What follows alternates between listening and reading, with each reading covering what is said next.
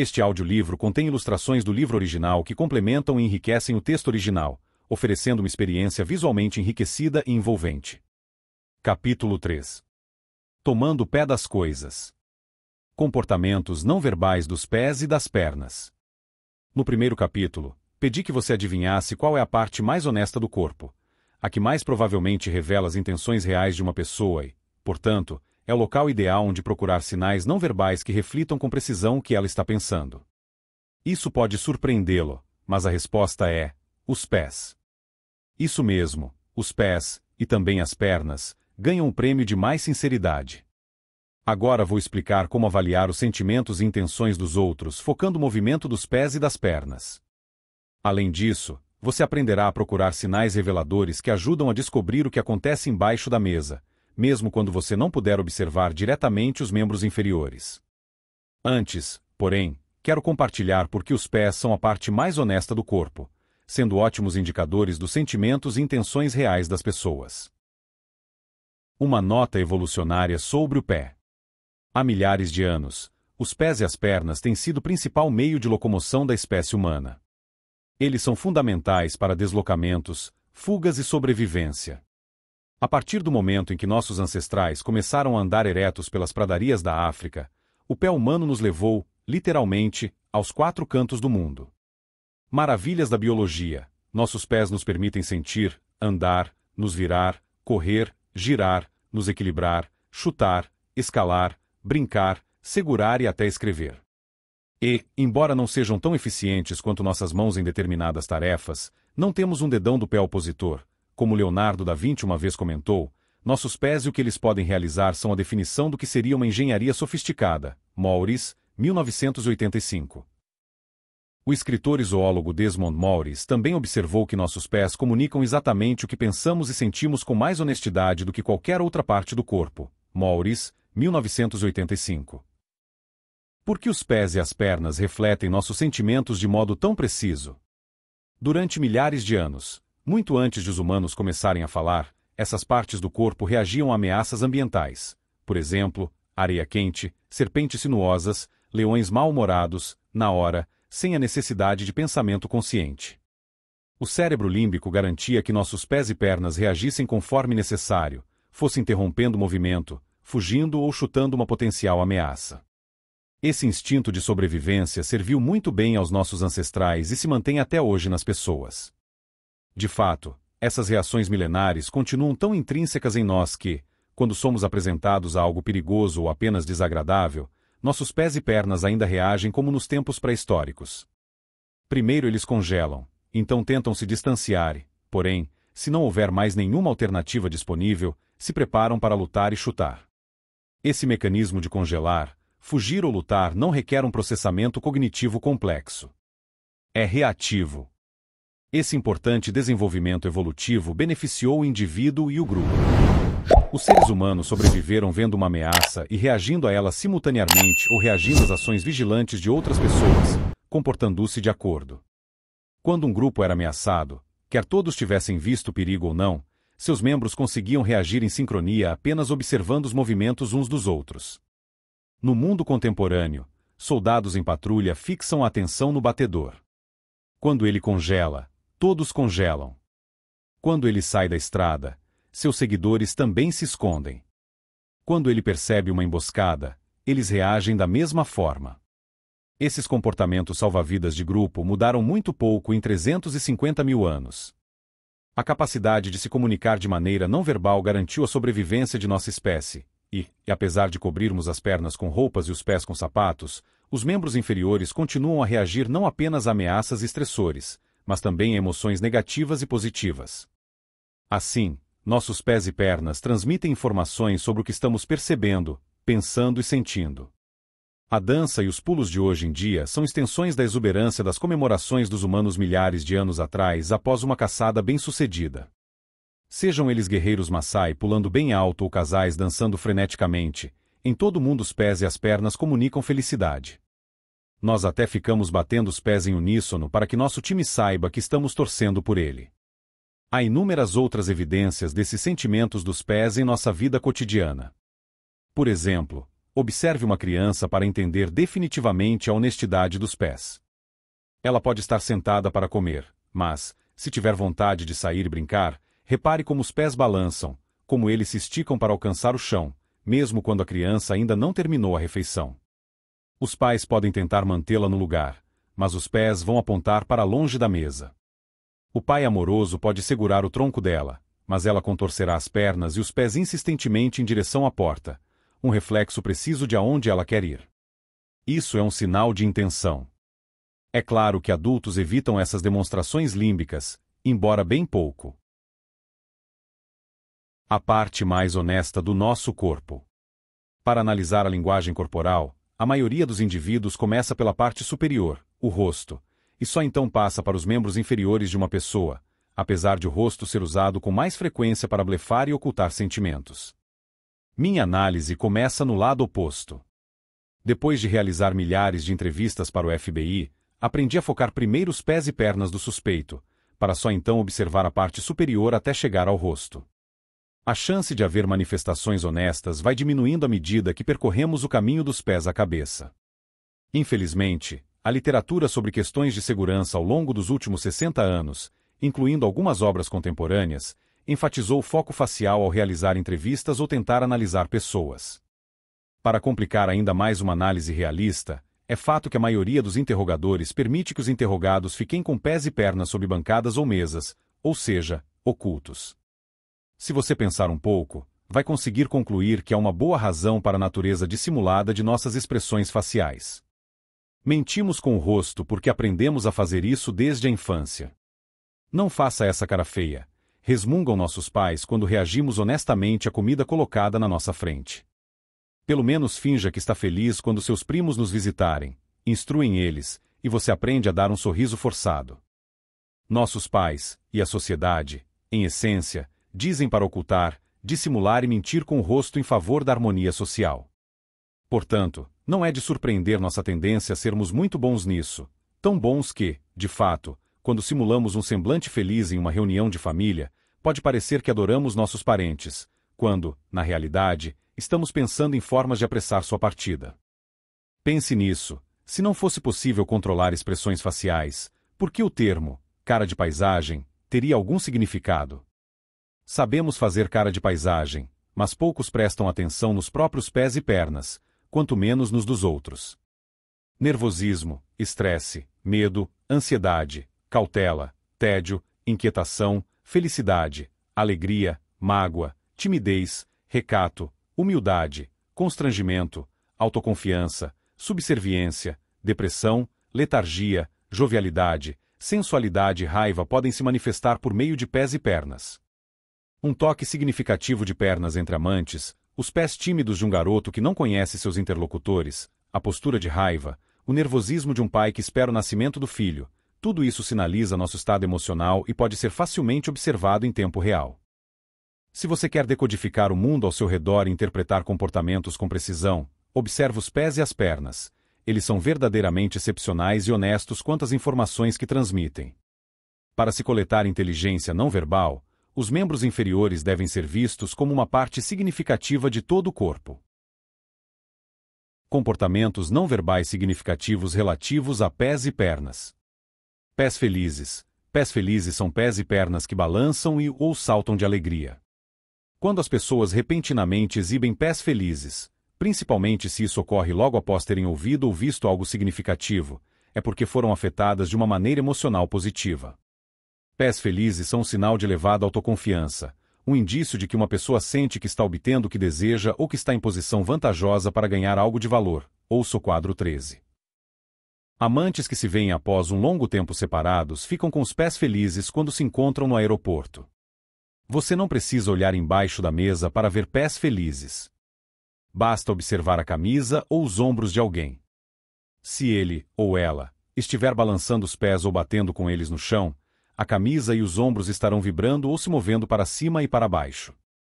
Esses movimentos não são excessivamente exagerados, na verdade, são bem sutis. Mas, se prestar atenção, você conseguirá discerni-los. Tente você mesmo replicar esse comportamento. Sente-se em uma cadeira em frente a um espelho de corpo inteiro e comece a balançar os pés ou a bater com eles no chão. Ao fazer isso, você vai ver sua camisa ou seus ombros se mexerem. Se você não ficar bem atento a observar acima da mesa esses sinais reveladores de comportamento dos membros inferiores, talvez não os perceba. Mas, se estiver disposto a dedicar tempo e esforço a essa tarefa, você conseguirá detectá-los. O segredo para usar pés felizes como um sinal não verbal eficaz é perceber antes o comportamento padrão dos pés de uma pessoa e então observar as mudanças repentinas que ocorrerem. Ouça o quadro 14. Cabem aqui duas advertências. Primeiro, como em todo comportamento não verbal, pés felizes devem ser entendidos no contexto para determinar se representam um sinal verdadeiro ou apenas muito nervosismo. Por exemplo, se uma pessoa tem as pernas naturalmente agitadas, um tipo de síndrome das pernas inquietas, então pode ser difícil distinguir pés felizes do reflexo de nervosismo de uma pessoa. Mas se esse comportamento se repetir cada vez mais ou se os pés se agitarem com mais intensidade, sobretudo logo após uma pessoa ouvir ou testemunhar algo significativo, entenda isso como um sinal potencial de que agora ela se sente mais confiante e satisfeita com o estado atual das coisas. Quadro 13. Pés felizes significam que a vida é agradável. Há algum tempo, eu estava assistindo a um torneio de pôquer na televisão e vi um homem fazer um flush, uma mão forte. Abaixo da mesa, os pés dele estavam frenéticos. Balançavam para frente e para trás e se agitavam como os pés de uma criança que acabou de saber que vai para Disney. O semblante do jogador era firme, ele parecia calmo, mas perto do chão havia muito movimento. Enquanto isso, eu acenava para a TV e pedia que os outros jogadores mostrassem as cartas e saíssem do jogo. Pena que eles não conseguiam me ouvir, porque dois deles pagaram para ver e perderam dinheiro com a mão imbatível do homem. Esse jogador aprendeu a blefar muito bem. Obviamente, porém, ele ainda tem um longo caminho a percorrer, pois não consegue neutralizar o comportamento dos pés. Felizmente para ele, seus oponentes, como a maioria das pessoas, passaram a vida inteira ignorando três quartos do corpo humano, do tórax para baixo, sem prestar atenção nos sinais ou indícios não verbais cruciais que podem ser encontrados aí. Salas de pôquer não são o único lugar onde você vê pés felizes. Eu já os vi em muitas salas de reuniões e de diretoria, em quase todos os outros lugares. Enquanto escrevia este capítulo, eu estava no aeroporto e ouvi uma jovem mãe sentada ao meu lado enquanto falava ao celular com pessoas da família.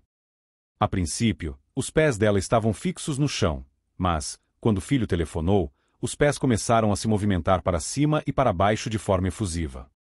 Não foi necessário que ela me dissesse como se sentia em relação ao filho ou sobre a prioridade que ele tem na vida dela.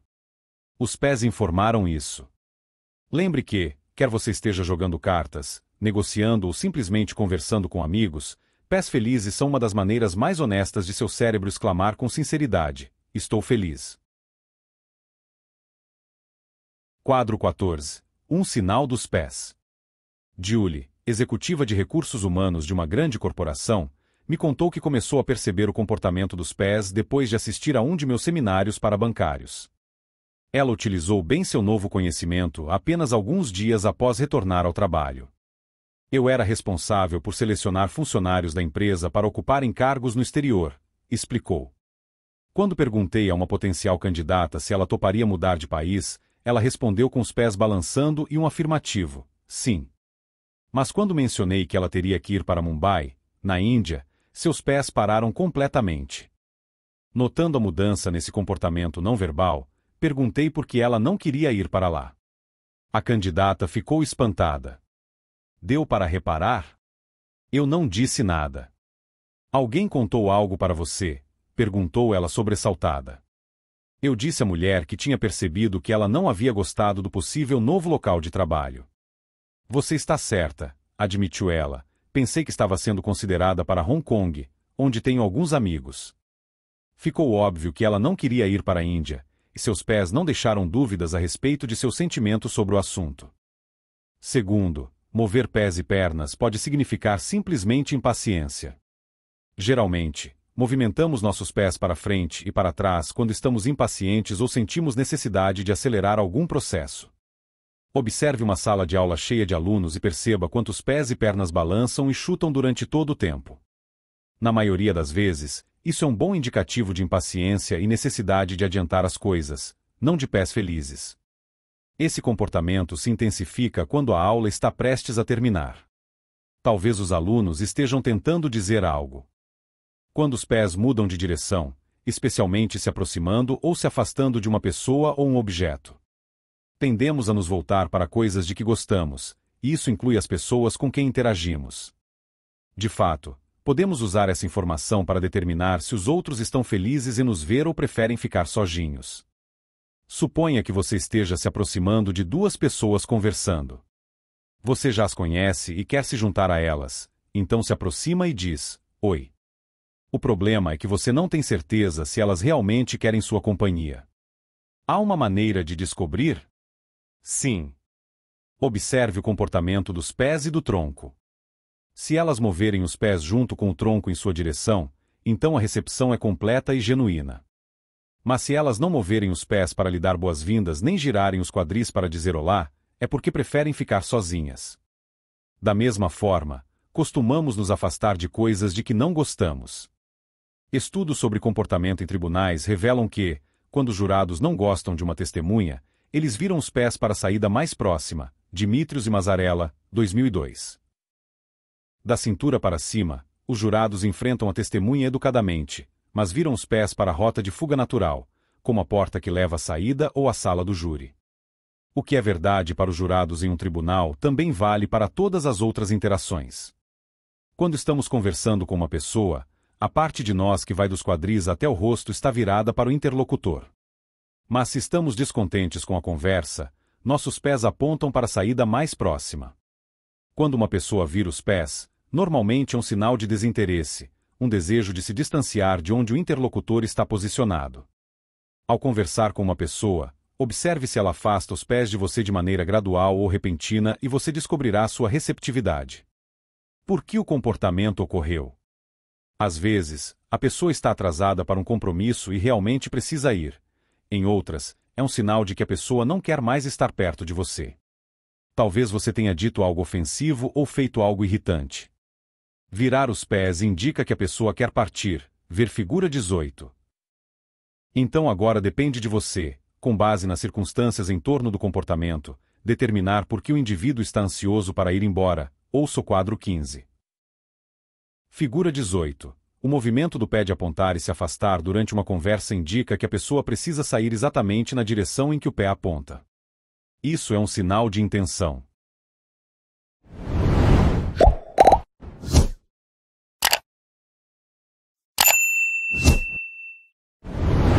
Quadro 15. Como os pés dizem adeus. Quando duas pessoas conversam, normalmente elas falam de igual para igual. Se, porém, um dos indivíduos afastar um pouco os pés ou mover repetidamente um pé, os dois pés formando um L, com um deles na sua direção, pode ter certeza de que ele quer ir embora ou preferir estar em outro lugar. Esse tipo de comportamento é outro exemplo de um sinal de intenção. Givens, 2005. A pessoa pode até permanecer com o tronco voltado para você por educação e regras sociais, mas os pés refletem mais honestamente a necessidade ou desejo de fuga do cérebro límbico, ver figura 18. Certa vez, passei quase cinco horas com o cliente. No final da reunião, começamos a repassar o que havíamos discutido naquele dia. Embora nossa conversa tenha sido muito amistosa, percebi que meu cliente mantinha um dos pés formando um ângulo reto com o outro, aparentemente querendo partir. Naquele momento, perguntei: Você precisa sair agora? Sim, admitiu ele. Sinto muito.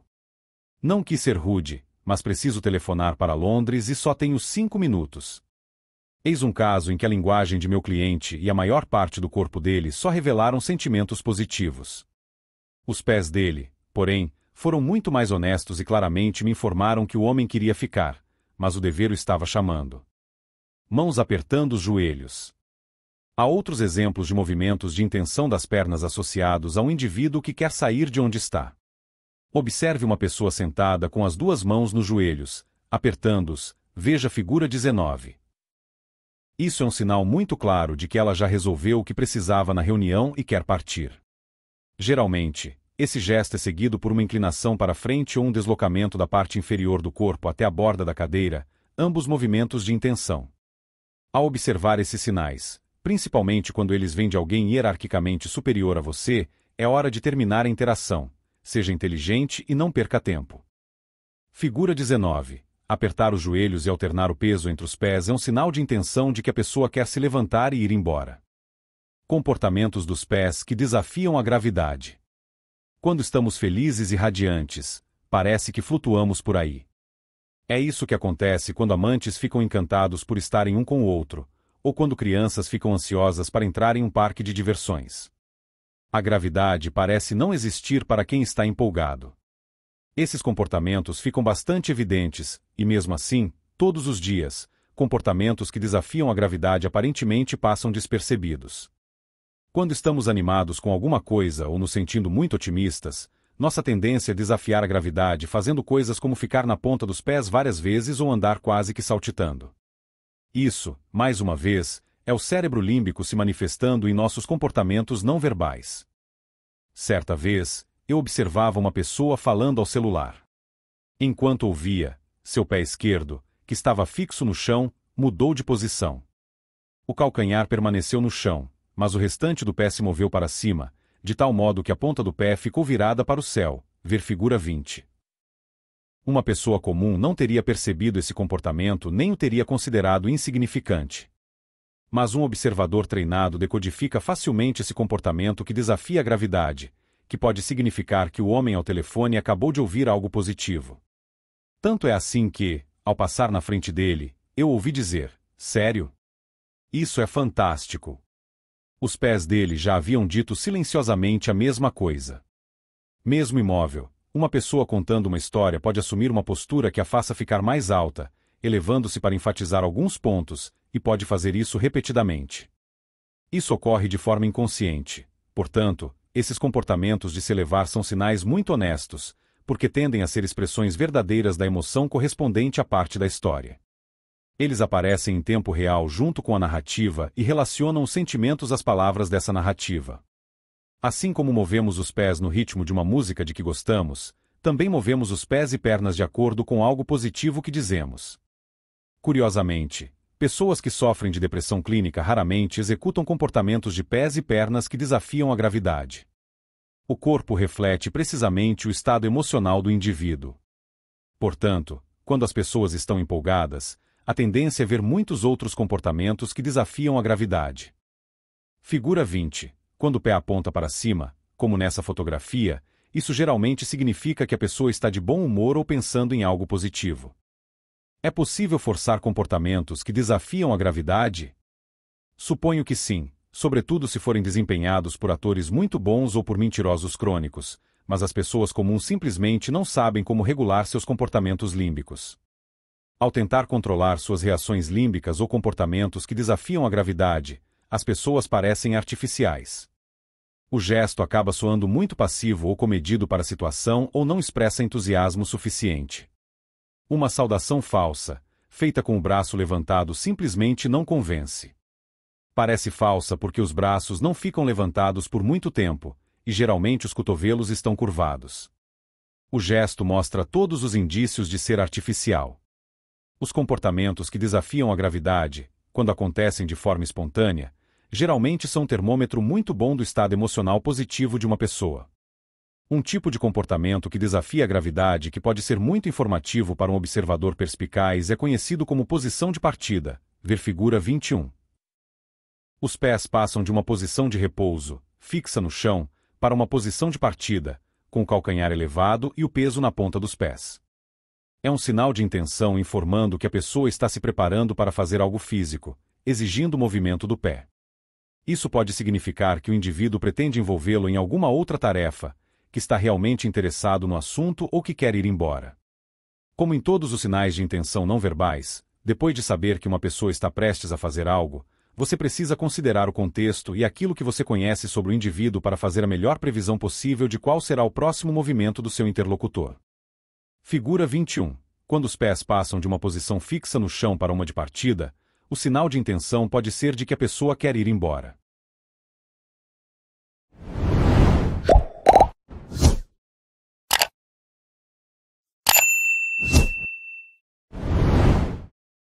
Abertura das pernas.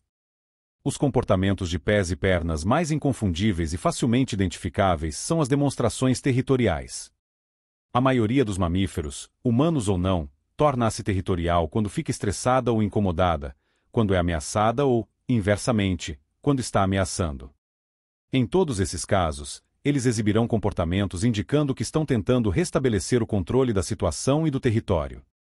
Profissionais de segurança e militares apresentam esses comportamentos porque estão acostumados a estar no comando. Às vezes, eles tentam superar um ao outro, e isso se torna até ridículo à medida que cada um tenta abrir as pernas mais do que os colegas em uma tentativa inconsciente de marcar mais território. Quando as pessoas se veem em situações de confronto, as pernas se abrem, não apenas para conseguir mais equilíbrio, mas também para marcar território. Ao se deparar com esse comportamento, um observador cuidadoso recebe uma mensagem muito forte de que, no mínimo, há algum problema acontecendo ou que há potencial para um contratempo. Quando duas pessoas estão de pé e discordando entre si, elas nunca cruzarão as pernas, para que não percam o equilíbrio. O cérebro límbico simplesmente não deixa isso acontecer. Se notar que uma pessoa afastou um pé do outro, é bem provável que ela esteja ficando cada vez mais infeliz. A mensagem enviada por essa postura dominante é muito clara: algo está errado e estou pronto para lidar com isso. A abertura das pernas como comportamento territorial sinaliza que há muita chance de os ânimos se exaltarem. Portanto, se você observar ou usar esse tipo de comportamento não verbal, prepare-se para possíveis problemas. Como geralmente as pessoas assumem uma postura com as pernas mais abertas quando uma discussão se intensifica, digo a executivos e profissionais de segurança que uma maneira de impedir um confronto é evitar o uso dessa demonstração territorial. Quando ficamos nessa posição durante uma conversa calorada e imediatamente juntamos as pernas, isso geralmente melhora os ânimos no confronto e reduz a tensão. Alguns anos atrás, enquanto realizava um seminário, uma mulher na plateia falou sobre como o ex-marido costumava intimidá-la durante uma discussão, permanecendo parado na porta de casa com as pernas afastadas, bloqueando a saída. Esse tipo de comportamento não deve ser encarado de maneira leviana. Ele ressoa visual e visceralmente e pode ser usado para controlar, intimidar e ameaçar. De fato, predadores, psicopatas e antissociais, por exemplo, geralmente afastam as pernas em conjunto com comportamento de olhar nos olhos para controlar os outros. Como um presidiário disse certa vez, aqui, tudo depende da sua postura, de qual posição adotamos, do que damos a entender. Não podemos parecer fracos nem por um momento. Acredito que, em qualquer lugar em que possamos encontrar predadores, devemos estar cientes de nossa postura e nossa posição. É claro que há momentos em que pode ser vantajoso afastar as pernas, especificamente quando você quer estabelecer autoridade e controle sobre os outros por uma boa razão. Tive que ensinar mulheres policiais a usar o afastamento das pernas para estabelecer uma postura mais agressiva ao lidar com multidões indisciplinadas. Ficar em pé com os pés juntos, que é interpretado como submissão, envia um sinal errado a um possível antagonista. Ao afastar os pés, as policiais assumem uma postura mais dominante do tipo: estou no comando, que será percebida como mais autoritária e, assim, as ajudará a serem mais eficazes no controle de indivíduos indisciplinados. Você pode enfatizar para um filho adolescente o que pensa sobre tabagismo sem elevar a voz, mas usando uma demonstração territorial. O imperativo territorial. Ao discutir afastamento das pernas e comportamentos territoriais, devemos reconhecer o trabalho de Edward Hall, que estudou o uso do espaço por seres humanos e outros animais. Quando estudou o que ele denominou imperativo territorial, ele conseguiu documentar nossas necessidades espaciais, que chamou de proxêmica, Hall, 1969. Hall concluiu que quanto mais privilegiados somos do ponto de vista socioeconômico ou hierárquico, mais território exigimos. Ele também observou que as pessoas que ocupam mais espaço, território, em suas atividades diárias também tendem a ser mais seguras, mais autoconfiantes e, obviamente, mais propensas a ter um status elevado. Esse fenômeno se repetiu ao longo da história da humanidade e na maioria das culturas. De fato, os conquistadores testemunharam isso quando chegaram ao Novo Mundo. Uma vez aqui, eles viram nas pessoas nativas das Américas as mesmas demonstrações territoriais que haviam visto na corte da Rainha Isabel. Ou seja, a realeza, em qualquer país, pode comandar e se permitir ter mais espaço. Dias, 1988. Embora CEOs, presidentes e indivíduos de status elevado possam reivindicar mais espaço, fazer isso não é tão fácil para o restante de nós. Todos nós, porém, somos muito protetores do nosso espaço pessoal, independentemente do tamanho. Não gostamos quando as pessoas se aproximam muito. Em sua pesquisa, Edward Hall indicou que nossa demanda por espaço tem origem pessoal e cultural. Quando violam esse espaço, temos reações límbicas poderosas indicativas de estresse. Ficamos hipervigilantes, nossa pulsação dispara e podemos até enrubescer. Knapp Hall, 2002. Pense em como você se sente quando alguém se aproxima demais, seja em um elevador lotado ou ao usar um caixa eletrônico. Mencionei esses problemas de espaço para que, da próxima vez que alguém se aproximar demais ou você violar o espaço de uma pessoa, você esteja ciente da estimulação límbica negativa que ocorrerá. Demonstrações de grande bem-estar com pés ou pernas.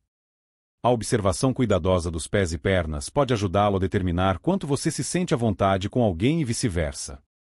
Cruzar as pernas é um termômetro particularmente preciso do seu grau de conforto diante de outra pessoa.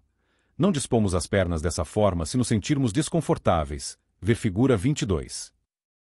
Também cruzamos as pernas na presença de outras pessoas quando estamos nos sentindo seguros, e segurança colabora para o bem-estar. Vamos examinar por que isso é um comportamento honesto e revelador. Se estiver em pé e cruzar uma perna na frente da outra, você reduzirá significativamente o próprio equilíbrio.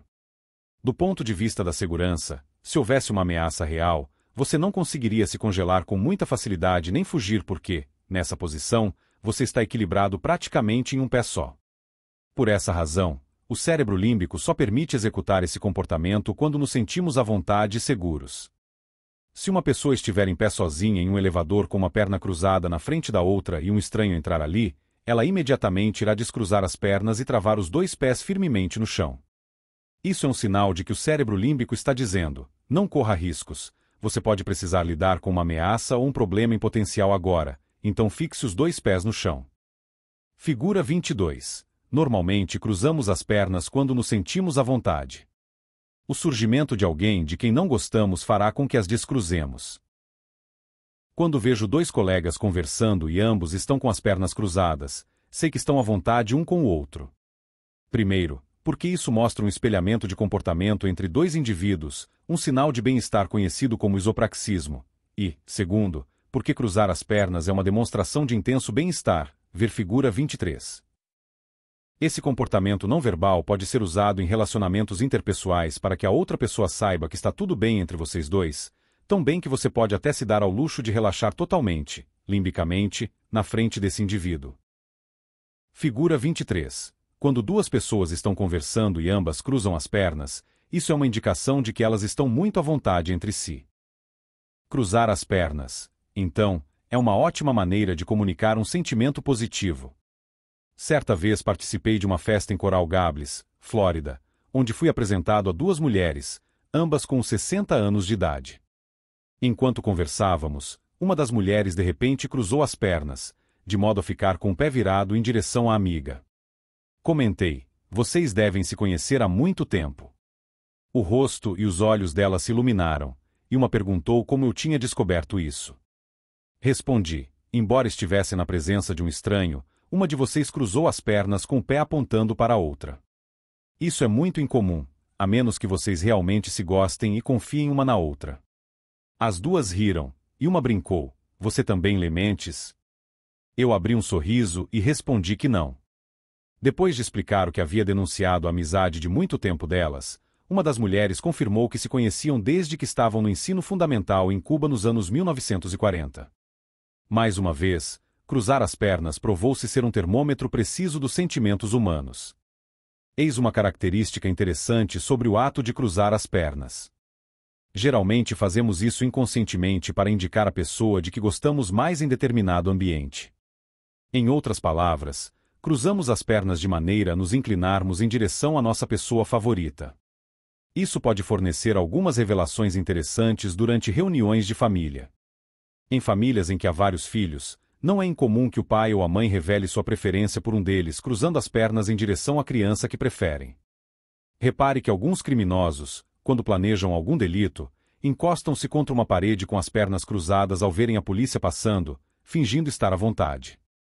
Como esse comportamento vai contra a ameaça que o cérebro límbico está sentindo, esses criminosos geralmente não mantêm essa pose por muito tempo.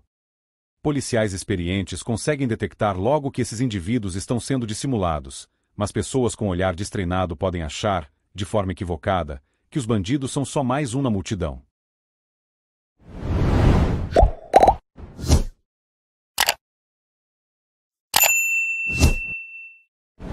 Comportamento de pés e pernas durante a corte.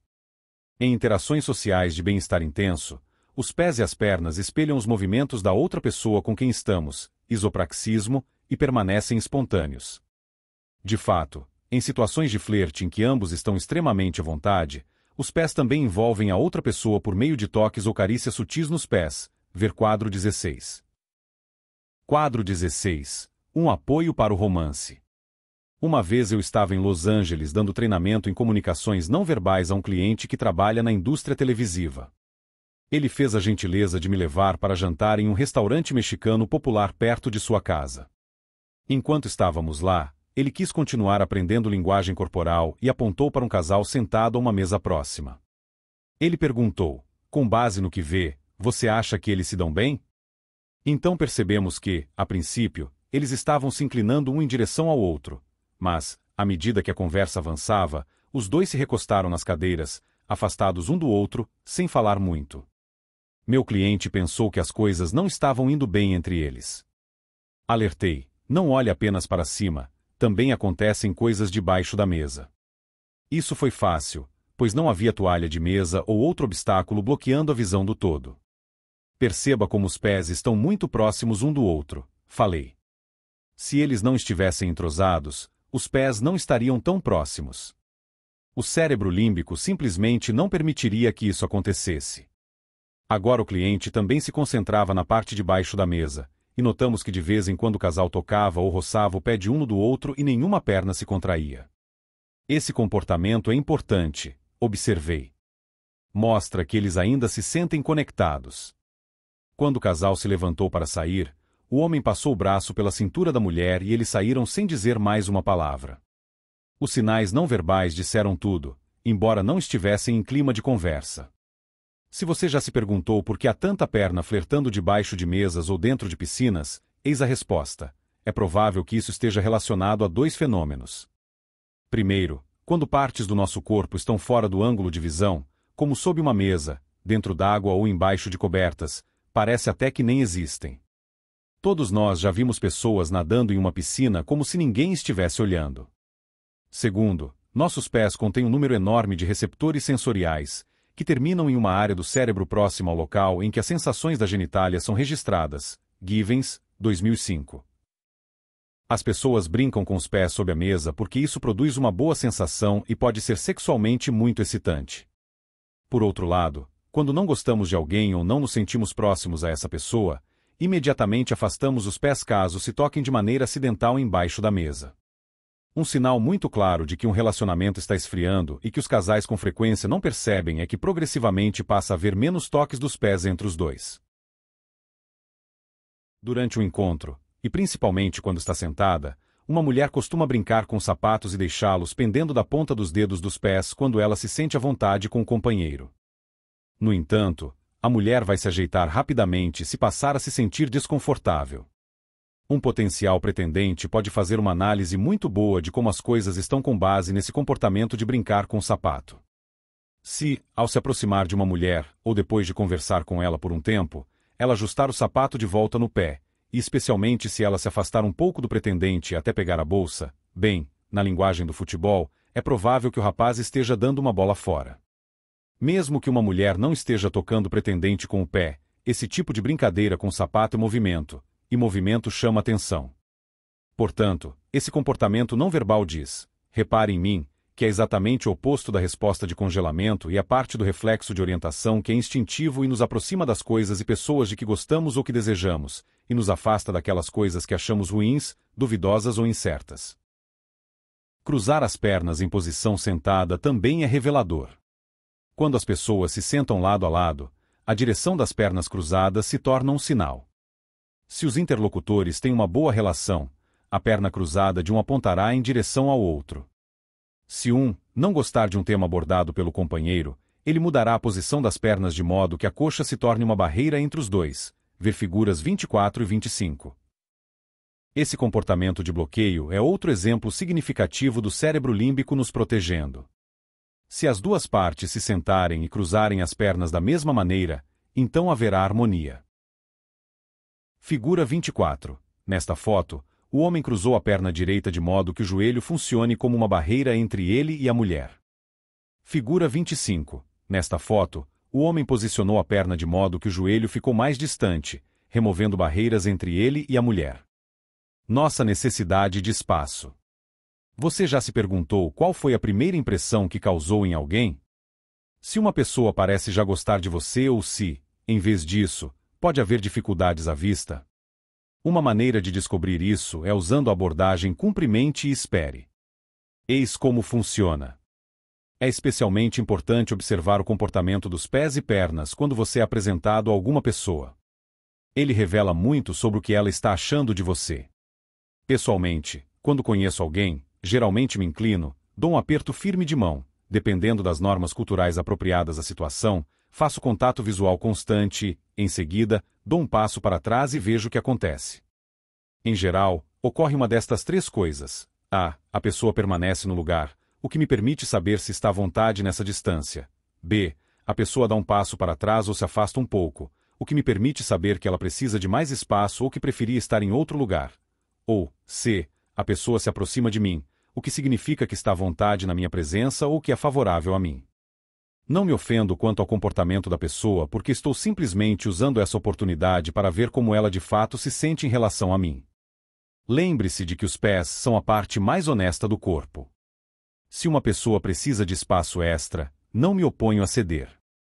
Se ela estiver à vontade, não preciso me preocupar em lidar com o problema de proximidade. Se alguém se aproxima de mim, sei que está se sentindo à vontade. Essa é uma informação útil em qualquer ambiente social, mas também lembra que você deve estabelecer limites quanto ao que faz você se sentir à vontade quando se trata de espaço.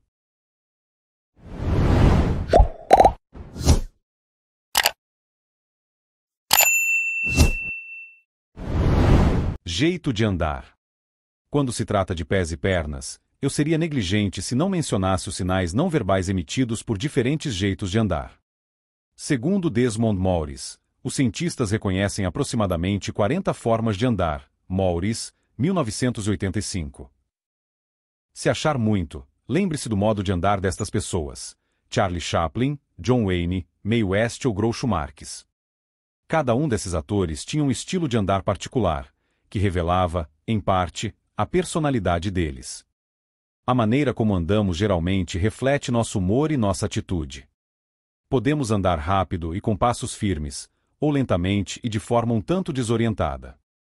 Nosso modo de andar pode ser rápido, devagar, descontraído, preguiçoso, cansado, arrastado, altivo, saltitante, ou podemos mancar, dançar, marchar, desfilar, andar na ponta dos pés, etc., só para citar apenas alguns dos estilos de caminhada reconhecidos. Maurice, 1985.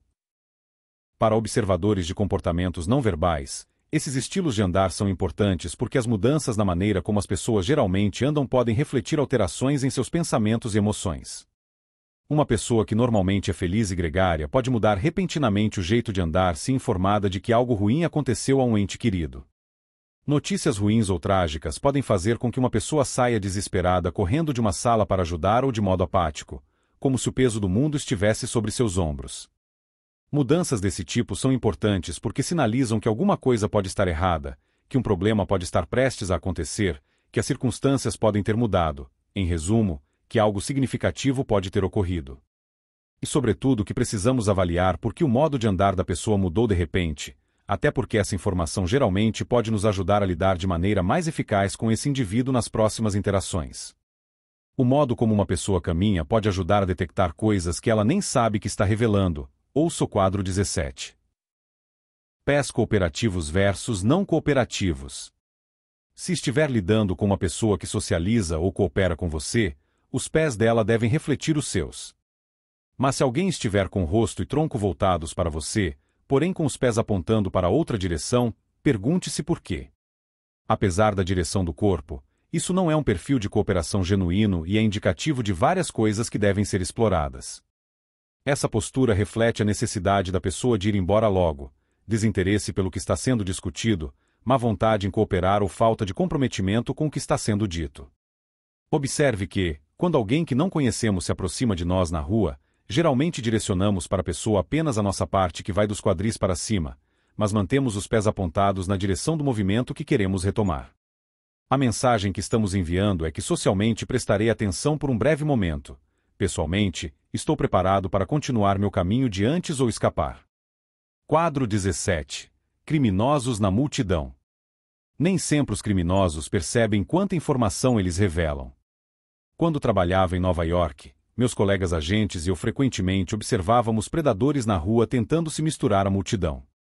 Um dos comportamentos que os denunciavam era o fato de caminharem no lado interno da calçada, apertando mais ou menos o passo enquanto olhavam desinteressadamente para vitrines.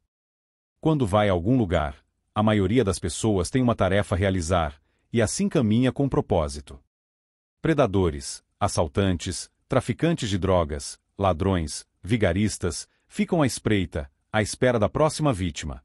Portanto, sua postura e seu ritmo são diferentes. Eles andam sem uma direção fixa até que estejam prestes a atacar. Quando um predador se aproxima, seja um pedinte ou assaltante, o desconforto que você sente ocorre por causa dos cálculos que o cérebro límbico realiza para tentar impedir que você seja o próximo alvo. Portanto, se estiver em uma cidade grande, fique de olho nos predadores. Se vir uma pessoa que pareça estar andando sem um propósito e que de repente comece a caminhar na sua direção, cuidado. Melhor ainda, caia fora, o mais rápido possível. Mesmo que tenha acabado de perceber isso acontecendo, ouça sua voz interior, de Becker, 1997. Ao longo dos anos, treinei inspetores aduaneiros nos Estados Unidos e no exterior. Aprendi muitíssimo com eles, e espero que tenham aprendido algo comigo. Uma das coisas que ensinei foi a procurar passageiros que se dirigem ao agente para fazer a declaração aduaneira, ver figura 26, enquanto os pés continuam apontando para a saída. Embora eles simplesmente possam estar com pressa para pegar um voo, o agente deve suspeitar desse comportamento. Em estudos, descobrimos que pessoas que dizem, não tenho nada a declarar, mas mantêm os pés apontando para a saída têm mais chances de estar escondendo algo que deveriam ter declarado. Em essência, elas se mostram prestativas, as palavras são firmes, mas os pés revelam que não estão sendo tão cooperativas assim. Figura 26. Quando uma pessoa fala com você com os pés apontando para outra direção, isso é um bom indicativo de que ela quer estar em outro lugar. Preste atenção em pessoas que fazem declarações formais nessa posição, pois é uma forma de distanciamento. Mudança significativa na intensidade do movimento dos pés e ou pernas. Mover as pernas é normal. Algumas pessoas fazem isso o tempo todo, outras, nunca. Não é necessariamente indicativo de que a pessoa está mentindo, como alguns acreditam equivocadamente, pois pessoas tanto honestas quanto desonestas executam esse gesto. O principal fator a considerar é em que ponto esses comportamentos começam ou mudam de intensidade. Por exemplo, anos atrás, Barbara Walters estava entrevistando Kim Bessinger antes de uma cerimônia de premiação do Oscar, e Kim estava concorrendo nesse dia. Durante a entrevista, Kim Bessinger sacudia os pés, e suas mãos pareciam muito nervosas. Quando Barbara Walters começou a perguntar à atriz sobre algumas dificuldades financeiras e um investimento questionável em nome dela e do seu então marido, ela passou a dar pequenos chutes. Foi instantâneo e ficou nítido. Mais uma vez, isso não significa que ela estava mentindo ou pretendia mentir, mas foi claramente uma reação visceral a um estímulo negativo, a pergunta feita, e refletiu seu desprezo pela pergunta.